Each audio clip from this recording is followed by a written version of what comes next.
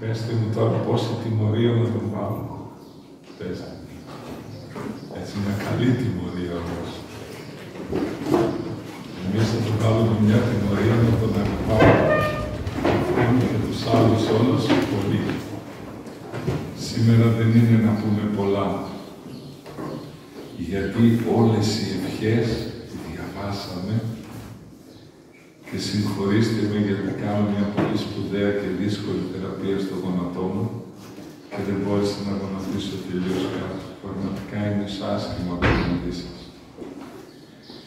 Αυτό όμως που ήθελα να πω σήμερα, ήρθε λέει ο Χριστός, πορεύτηκε, μας χάρισε τα πάντα έλαβε, λέει, την ανθρώπινη φύση μας, Θεόσον, την ένωσε με τη θεϊκή του φύση, έγινε Θεάνθρωπος, για να πάρει τούτο εδώ το χώμα, το χωμάτι μας, το κορμί μας, τη σάρκα μας και να τη θεώσει, να την κάνει θεϊκή. Όχι με λόγια, λέει, αλλά με έργα. Και ποια ήταν τα έργα του Θεού, η άπειρη αγάπη που μας έχει. Και πώς την έδειξε την άπειρη αγάπη του πάνω στο Σταυρό. Και είπε ο Απόστολος, θα έρθει λέει το Άγιο Πνεύμα και οδηγήσει εμάς εις πάσαν την αλήθεια.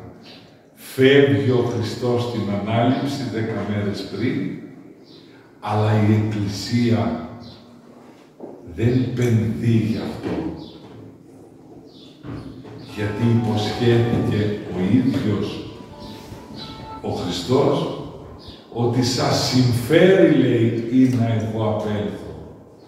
Διότι το έργο ετελείωσα, λέει στον πατέρα του, «Ον δεν δοκάζω». Το τελείωσα αυτό που με έδωκες. Τώρα τι σας συμφέρει, να έρθει ο Παράκλητος, το Πνεύμα το Άγιο, το οποίο εκ του Πατρός εκπορευόμενο.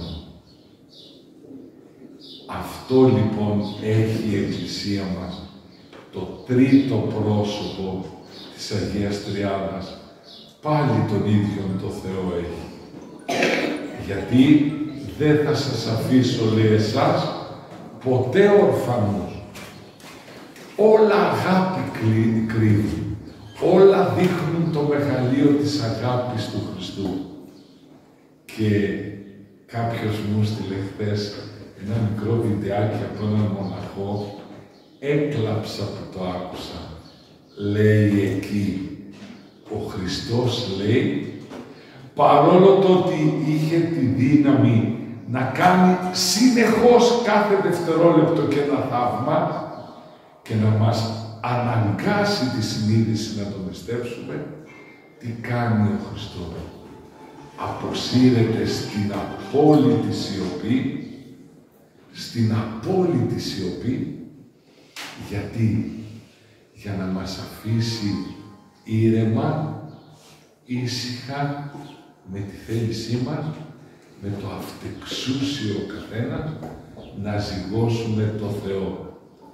Και όμως ο Θεός ζυγώνεται μέσα από την Εκκλησία, την οποία σήμερα ιδρύει το Άγιο Πνεύμα. Όλον συγκροτεί τον θεσμό της Εκκλησίας. Το να είμαστε δηλαδή όλοι μαζί. Θεός, Παναγία, Άγγελοι, Άγιοι, ζωντανοί Αχ, μωρέ, γιατί λέει η ευχή καθόμαστε εμείς και επιθυμούμε το τίποτα και δεν πλησιάζουμε στον τα πάντα έχοντα Χριστό. Γιατί, γιατί είμαστε άρρωστοι και διαβάζω ένα κείμενο αυτές τις μέρες γράφοντας κάτι ότι ο άνθρωπος λέει είναι άρρωστος από τη στιγμή της πτώσεως μες στον παράδεισο έχασε τη σχέση του με το Θεό του και και με τον εαυτό του και με τον συνάνθρωπο.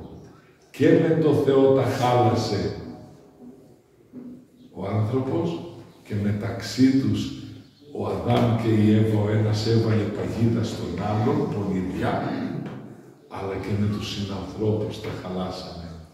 Πώς γίνεται τώρα αυτή η θεραπεία και τελειώνει. Με το να καθαρίσει ο άνθρωπος το νου του, όλα να τα καθαρίσει και να τα διώξει, να τύχει τον φωτισμό, αν καθαρίσουμε τα πάντα, τότε θα λάμψει όλο το φως της χάριτος του Θεού. Εγώ είμαι το φως του κόσμου, είπε ο Χριστός στο Ευαγγέλιο. Όποιος λέει με ακολουθεί, ποτέ δεν θα σκοντάψει και ποτέ δεν θα νιώσει σκοτάδι. Και μετά αφού πετύχει την κάθαρση και τον φωτισμό, μετά μας χαρίζει ο Θεός, αν κρατηθούμε ταπεινοί, μας χαρίζει τη θέωσή Του. Δηλαδή, γινόμαστε Θεοί. Βλέπω, ακούγονται τηλέφωνα, τι θέλω να σας ρωτήσουν τώρα, που θα πιείτε τον καφέ ή τι φαγητό θα φάτε την Και τα δυο, ε. Να είστε καλά.